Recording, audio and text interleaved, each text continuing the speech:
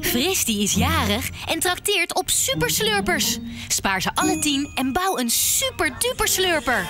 Lang zullen slurpen, lang zullen slurpen in de glorie. Nu gratis bij een sixpack Fristie superslurpers. Fristie, goed en lekker is die.